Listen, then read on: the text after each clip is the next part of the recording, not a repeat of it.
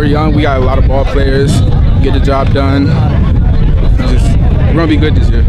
Well, you've transitioned over the years. Last year, you moved to offensive tackle after playing defensive tackle mostly your first two years. I saw you a little bit out there defensively today, but tell me about that development and change for you over the years. It was good. I like. I didn't like offense at first, but I learned to like it. It's not that bad. I like putting people in the dirt is fun. I feel like he good on both sides of the ball. You know, I line up next to him on whichever side we on. I love being next. This is a big presence. You know, we oh, talk to each other, communicate.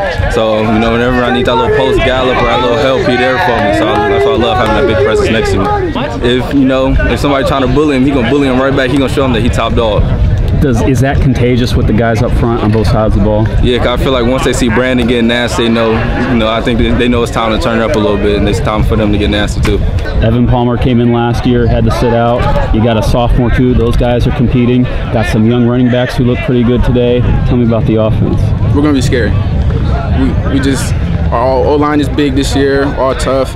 We got amazing running backs. We got two quarterbacks that can throw the ball and get the job done. We got our sophomore in Marquise, our freshman Rod that just came out this year, Benicio Roman over here. Like we just got a bunch of playmakers that want to come out and ball out.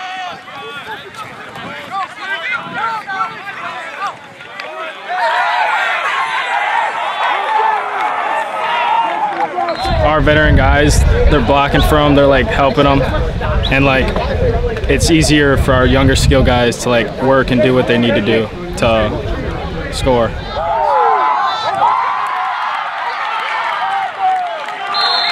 Man, it's exciting seeing all these young guys, obviously since we're seniors. But, like I can't wait to come to games like next year when I'm like a freshman in college and just seeing these young guys like excel and be, be better. Man, it's a bunch of young guys, but we got some good leaders out there, and our younger guys like Chris Vance, our center, him obviously returning. It's a big start. Um, just a lot of a lot of leadership, but also like young guys that are willing to work and listen with us.